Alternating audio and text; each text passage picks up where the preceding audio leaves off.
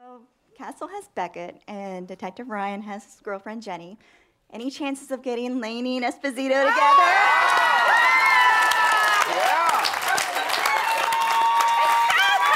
What, what about Montgomery? Ken, Mon- Ken Montgomery? What about Montgomery?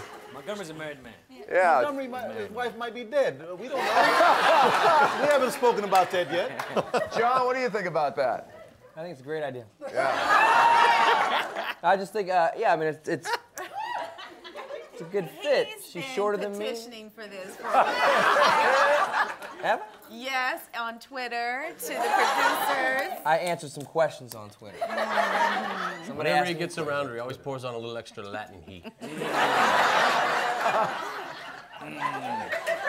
Are we ever going to meet Chad? Chet? Chet? Whatever. Chet, Chad. Yeah, you're. you- You've moved in now, right? Only, you know, Okay. in my fashion. Oh, oh, do yes, we meet him, or is will. he? Uh, oh, we will. That- That's what I believe. Oh, okay. But what do I know? Not.